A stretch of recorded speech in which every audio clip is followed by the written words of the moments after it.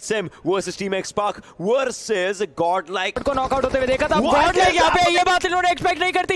It's a third party in the first fight shadow को यहाँ पे नॉकआउट किया जाएगा। फाइट करने की स्मोक्स यहाँ पे डिप्लॉय किए जाएँगे ताकि जायरो गॉड को वापस से इस गेम में लाया जाए। बट एक्वानॉक्स पर भारी पड़ती हुई गॉड लाइक की squad ji God is pushing forward with full power और यहाँ पे देखिए टीएसएम के काफ़ी ज़्यादा कम है। बट फिर भी गॉड लाइक ने काफ़ी अच्छे से प्रेशर बनाया दोनों टीएसएम और एक्स पार्क के ऊपर। टीमों को समझना पड़ेगा कि क्या वो इस फाइट पे कर सकते हैं।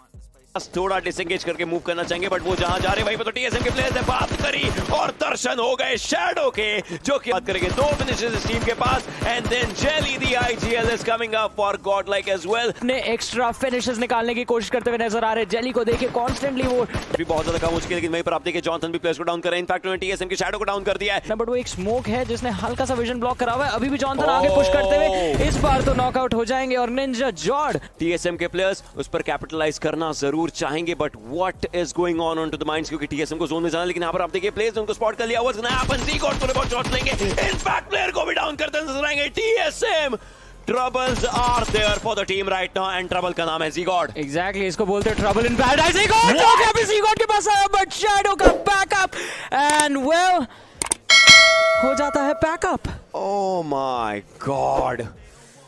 Godlike esports इस मैच के अंदर एलिमिनेट होती हुई सोलवे पायदान पे।